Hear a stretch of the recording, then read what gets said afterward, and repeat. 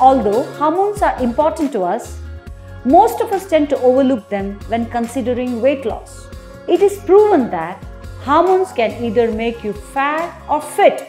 The problem is when hormonal imbalance sets in. The trigger includes long gaps between two meals, binge eating, sedatives, poor water intake, and failing to consume nutrient rich, wholesome food. Just as there are fat storing hormones, there are some fat burning hormones too. Let me tell you what these hormones are all about. Fat storing hormones are insulin, stress hormones like cortisol, fight and flight hormone, adrenaline, hunger hormone, ghrelin, among others.